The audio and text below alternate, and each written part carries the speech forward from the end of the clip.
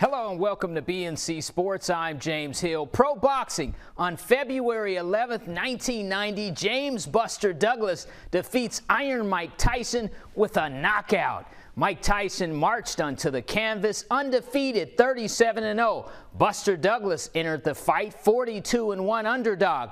Douglas dethroning Tyson in one of the greatest upsets in the history of sports. Buster Douglas shocks the world. Check out this BNC Sports exclusive part 2.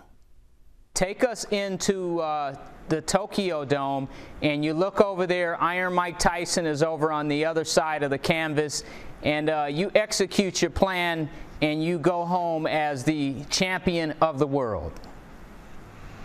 Yeah, it was an awesome experience. You know, our team, you know, we put together a great game, game plan and uh, I went out there, executed it perfectly and uh, one of, one of my one of my dreams was becoming the heavyweight champion of the world.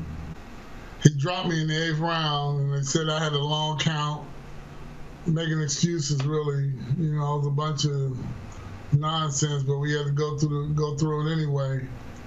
And um, you know, we had the long layout over the six next six months. We ended up going to court, and then having to pay pay a lot of money to. Uh, the promoter to get a total release from the contract. Then I went on and uh, defended the title against Evander Holyfield. Now, champ, uh, last weekend there was a fight. Uh, we saw Roy Jones Jr. and Mike Tyson fight again. Uh, what did you see in that fight when you look at those two gentlemen on the canvas?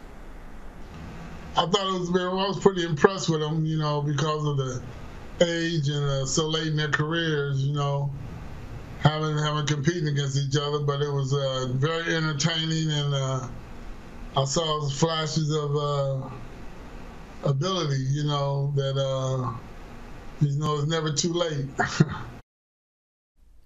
All right, thank you, champ. We will see you again next hour. Coming up later on BNC Sports, college football, NBA, and the King of the Hill. We'll be right back.